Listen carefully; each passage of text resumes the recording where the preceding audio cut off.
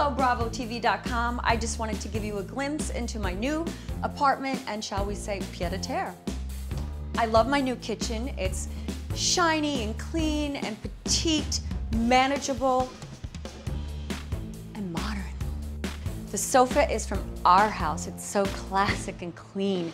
And this beautiful, beautiful rug is from Nicole Miller. Very modern and fresh tiny little table that we could just pop up when we're more than two. I love the balcony. As you know, at the townhouse, I had a beautiful garden, and here I have a slice of life from home. I have my plants, my herbs, my strawberries, mint, basil, everything I need to cook at home. Every room in this apartment has a tremendous view which I thought I'd never find after having that at the townhouse. So I'm gonna take you to my bedroom now. Oh, and I might mention I have a working fireplace, which I can't wait to use this fall. And I have my own washer and dryer, so I don't have to go to the public. Laundromat? Bathroom?